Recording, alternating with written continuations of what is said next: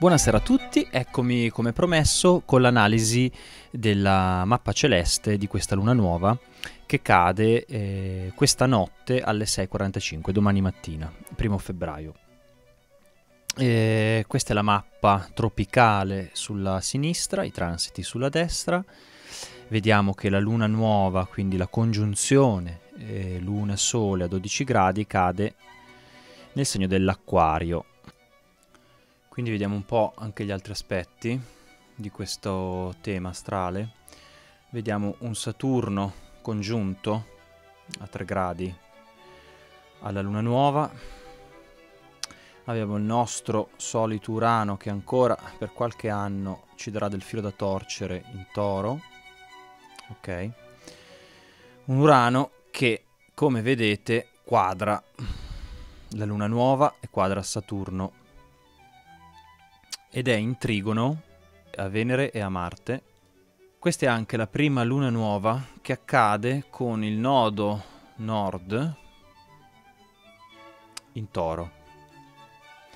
Il nodo nord è stato per eh, diversi mesi in gemelli, più o meno per tutta la durata di questa, di questa situazione pandemica, e di fatti ha caratterizzato comunque uno sconvolgimento in termini di informazione. Sicuramente sia in termini di raccolta di informazioni, sia in termini di confusione.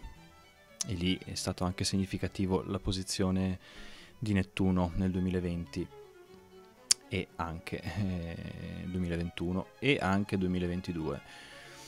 Adesso che ci spostiamo, ci siamo spostati in Toro, sicuramente si apre un capitolo nuovo. Questa luna nuova è eh, strettamente legata quindi ad Urano, mm, un po' per la sua posizione nel tema eh, di questi mesi e, e, e, soprattutto perché comunque Urano è il governatore dell'Aquario. Questo nodo ascendente, come vedete, è in co- congiunto a Cerere, che è questo simbolino qua. Cerere è un, un asteroide ed è eh, ovviamente legato alla divinità romana Cerere, che era, eh, è la divinità della, mm, della fertilità mh, mm, popolare, dell'agricoltura, dei fiori, dei frutti, e colei che permetteva al popolo, quindi è una, una divinità legata al popolo, di eh, raccogliere i frutti della terra. Cadendo in toro, che esso stesso rappresenta un po' la fertilità della terra per certi versi, è sicuramente qualcosa da tenere in considerazione. Altri aspetti importanti che ho sottolineato, eh, appunto abbiamo la quadratura Saturno-Urano, Urano-Luna e Urano-Sole. Urano è in trigono a Venere, è in trigono anche se più largamente a Marte. Abbiamo un sestile Marte-Giove che sicuramente non potrà che amplificare delle azioni. Mm probabilmente anche un'aggressività di questo Marte che cade in Capricorno, che è il segno delle leggi, delle regole, ok? E anche il segno dello Stato. Abbiamo una congiunzione importantissima di Plutone con Mercurio, che anch'essa cade in Capricorno. Quindi Acquario e Capricorno, il segno dello Stato, Capricorno, è il segno della riforma e anche della fratellanza, dell'innovazione, del futuro, della libertà, del risveglio, l'Acquario. Ma qui siamo ancora molto legati, come vedete, tutti questi pianeti veloci che cadono in Capricorno. Cos'altro abbiamo? Abbiamo una posizione interessante che è Plutone in trigono al nodo nord e in sestile al nodo sud che cade ovviamente in Scorpione essendo il nodo nord in Toro, sono sempre opposti, nodo nord e nodo sud. E poi abbiamo una situazione particolare che vede mh, mm, Plutone, di Plutone molto presente in questa luna nuova e in generale in questi mesi, un Plutone che fa un quadrato a T con Eris, questo asteroide che vedete qua, e Haumea, che è una divinità hawaiana. Allora, Eris è Eris, è divinità greca della discordia, quella che ha, che ha lanciato il pomo dorato no? ad Afrodite, eccetera, durante il matrimonio. E che quindi ha creato questa discordia perché queste varie divinità si, si contendevano questo pomo dorato. È anche colei che lotta per, eh, per le ingiustizie, lotta per portare giustizia nell'ingiusto. È un quadrato a T molto attivo già da diversi mesi, quindi ricordo che la quadratura è sempre una fase costruttiva. Aumea invece è anch'essa una eh, divinità, appunto hawaiana, legata alla fertilità. Letteralmente lei crea il cibo. Okay. Peraltro nei prossimi mesi in questa quadratura T prenderà eh, più importanza, più forza Aumea, andrà un pochino a perdere di energia Eris. Abbiamo anche Issione. Issione è un personaggio sempre della mitologia greca, che non è un personaggio molto simpatico, ve lo faccio vedere. Eccolo qua, è colui che poi viene punito, messo a girare sì, nel cielo e a girare eh, su questa ruota, no? Da, da Zeus in questa punizione eterna, perché è un traditore, un traditore non redento. Ecco, questa è la caratteristica principale, perché tradisce, ritradisce e ritradisce ancora andate a vedervi la sua storia. Io l'ho sottolineato perché è in Capricorno anche lui, quindi eh, in questa posizione eh, dove abbiamo un forte impulso di eh, nuove regolamentazioni, nuove leggi, nuovi ostacoli, perché? Perché Urano è ancora in lotta con Saturno essendo in quadratura, quindi da una parte abbiamo il desiderio di libertà che Urano porta e questa luna nuova sicuramente aprirà un impulso crescente verso questa libertà che credo potrebbe avere un, um, un apice con l'equinozio di primavera che cade il 20 marzo alle 4.34, eccolo qua, un equinozio di primavera, sole a 0 gradi dall'ariete, ok? Ma questo lo analizzeremo nel dettaglio in un altro momento. È un equinozio che potrebbe veramente aprire. L'equinozio segna sempre l'apertura, eh, la germinazione dell'uomo nuovo, sia a livello personale ma ovviamente anche a livello eh, globale comunitario. Torniamo alla mappa della luna nuova.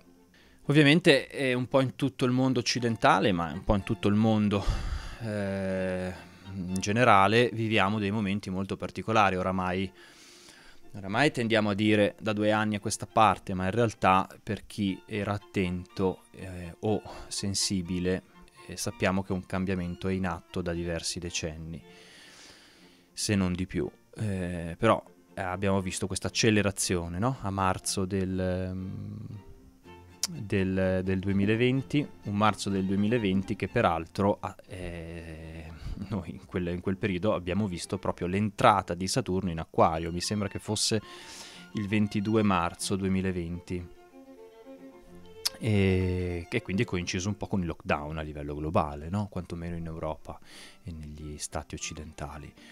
Saturno, abbiamo detto, è ancora in acquario, ci starà ancora per un po' è in quadratura ancora ad Urano, ci staranno ancora per un po'. Ma questa luna nuova, mm, cadendo in acquario ed essendo la prima di questo nuovo ciclo dei nodi ascendenti e discendenti eh, in toro, eh, sta sicuramente forzando anche, spingendo verso un'apertura, una raccolta un, dopo una fase di raccolta di informazioni in gemelli, noi qui abbiamo uh, cominciato a, sed- a sedimentare no? questa informazione che sì è caotica, oramai all'estremo, perché potremmo aspettarci veramente anche Dumbo che arriva eh, dal cielo e ci dica qual è la verità delle cose. Ehm, ma eh, queste informazioni ovviamente eh, eh, ci hanno permesso di metterci in gioco individualmente e come comunità. Quante comunità sono nate, quante scuole di educazione parentale, quanti sistemi economici di monete complementari eh, erano in fase ideologica e adesso hanno trovato forza eh, di mettersi in germinazione, perché il toro è legato alla terra Il toro è legato alla terra, è legato ai possedimenti, è legato ai desideri, è legato agli averi. Ehm, quindi questo nodo nord, peraltro ricordo congiunto a Cerere che è la divinità della, eh, della terra, dei frutti, dei fiori per il popolo romano, è un po' la Demetra greca, e con Urano che vuole innovazione, adesso diciamo che questa sfida tra questa parte di Capricorno ancora e di Saturno in Acquario che sicuramente vuole controllare un po' questa riforma, ma in questo momento l'impulso io credo che sia ascendente verso una nuova rinascita, che anche è rinascita no? legata all'archetipo acquariano. Urano è anche molto legato ovviamente alla tecnologia e quindi vediamo tutte queste discussioni sul metaverso, sui microchip, sul 5G, è legato alla finanza e vediamo questo esplodere delle criptovalute, i governi, non è un segreto, se andate a visitare i vari siti governativi eh, trovate di tutto, eh, trovate che ogni Stato sta eh, conducendo il proprio esperimento in termini di criptovaluta, lo stesso Green Pass che quantomeno, o Super Green Pass o Ultra Green Pass come l'ha chiamato il nostro ministro Speranza, ha nominato qualche mese fa, ricordo l'Ultra Green Pass, non so, forse non ha mai preso piede comunque appunto eh, tutte informazioni che si trovano online legate a quello che eh, queste, mh, mm, questi enti sovragovernativi stanno cercando di instaurare appunto in Capricorno con queste nuove regolamentazioni. Noi abbiamo un Nettuno in pesci un, un, eh, e un Giove che è entrato in pesci da qualche tempo e che andrà a congiungersi eh, a Nettuno eh, questo sia la mappa giusta, eh, il 12 aprile. Quindi questa è un'altra fase di impulso eh, importante mm, e che vedremo successivamente in un altro video. Quindi è una luna nuova che sicuramente dà in là un nuovo ciclo che porterà all'equinozio di primavera, che porterà questa congiunzione Giove-Nettuno, che porterà a un, una potentissima congiunzione Urano, nodo nord, Marte che cadrà il primo agosto. Quindi siamo all'apice, siamo all'apice perché? Perché siamo, eh, adesso c'è un forte impulso eh, riformatore che eh, porterà alla luce mh, sicuramente diverse verità, porterà alla luce alla, e alla germinazione diverse realtà che hanno trovato forza di sedimentare, di osare qualcosa di nuovo, appunto legate all'educazione, al sistema dell'istruzione, alla, alle nuove realtà economiche, alle nuove comunità. C'è chi ha lasciato tutto è andato in camper, c'è chi ha lasciato è andato in un'altra comunità sugli Appennini piuttosto che sulle Alpi. Tante cose si stanno muovendo e adesso cominceranno a sedimentare appunto in toro. Giove e Nettuno in pesci ovviamente eh, amplificano un processo di consapevolezza. Nettuno è, lega- è governatore dei pesci, almeno il governatore recente. È una grande possibilità per ciascuno di noi e, e, e per ogni comunità di persone, perché eh, ci permette di canalizzare meglio quelle che sono le energie cosmiche di questo periodo. Adesso io non entro nel dettaglio del, nel, del campo astronomico, ma noi stiamo vivendo veramente un momento a livello energetico cosmico molto particolare dove possiamo davvero entrare in connessione con quello che è stato, è e sarà in ciascuno di noi. Possiamo veramente trascendere la fisicità materica e fenomenica della nostra esperienza di vita. Nettuno è legato ai pesci, governatore, i pesci sono legati alla dodicesima casa, che non a caso comunque nel nostro tema europeo, quantomeno italiano, è in Capricorno, dove troviamo tutte quelle fatiche che vi ho detto prima, e, ma Nettuno ci può permettere di trascendere un pochino i desideri, i possedimenti del toro per elevare l'archetipo toro a quello che è un suo stato superiore che è legato al concetto e alla realtà della religione, perché il toro è anche legato nella croce eh, nella croce cardinale dello zodiaco, nella croce scusate fissa dello zodiaco, è legato alla religione. Noi abbiamo la religione in toro, abbiamo l'arte in leone, abbiamo la scienza in scorpione, e abbiamo eh, l'uomo angelo in acquario. Questi sono i quattro punti della croce fissa che sono anche nominati in tutti i testi sia biblici canonici che eh, testi antichi eh, apocrifi o, o, chi per loro insomma è legato all'evangelista eh, Luca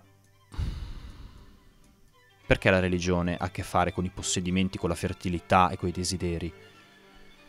Perché eh, perché attraverso la materia, questa cosa la spiega molto bene la religione buddista, attraverso la materia noi possiamo connetterci al macrocosmo, quindi dal, sperimentando il microcosmo, che è, è diciamo è nascosto, mm, beh, molto ben visibile a chi sa vedere dentro le maglie della chimica, della biologia, quindi appunto la terra, no? La terra che, che fa germogliare, attraverso il microcosmo noi scopriamo e riscopriamo il, il macrocosmo e viceversa, come diceva Giordano Bruno.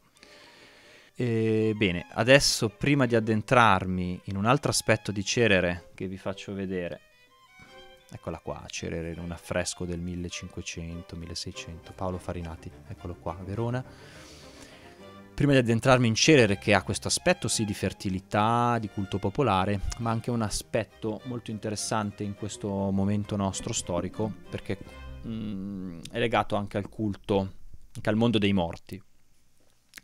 Le Cereris Mundus, questa fossa che veniva aperta in determinati momenti dell'anno popolo, dal popolo romano e che permetteva la connessione col mondo dei morti, interessante. Ma, mh, mm, concludo questa prima parte di video eh, e il resto lo troverete sul mio canale Patreon eh, previa sottoscrizione di almeno diciamo, il livello 0 mm, dicendo che appunto mh, mm, quale parte vogliamo scegliere in questo momento. Quindi questa che è ancora legata molto al controllo ok? La parte 1 o la parte 2 legata sicuramente a questo ciclo di luna nuova che può portare eh, può portare freschezza, luminosità, può già accogliere l'influsso di Nettuno, può già portarsi verso questa nuova germinazione dell'equinozio, può portarsi a questa scesi religiosa. Quale parte vogliamo scegliere? Come individui e come comunità? Sta a noi. E questa notte e domani sono sicuramente giorni ideali per eh, impiantare eh, attraverso scritti, attraverso pensieri, attraverso la mente immaginativa, attraverso delle pratiche mh, mm, personali, attraverso appunto la manifestazione di pensieri e di buone intenzioni che ci accompagneranno per tutto questo ciclo di luna nuova che appunto durerà per tutto febbraio. Un caro saluto e invece un buon proseguio a, mi, a chi mi seguirà su Patreon.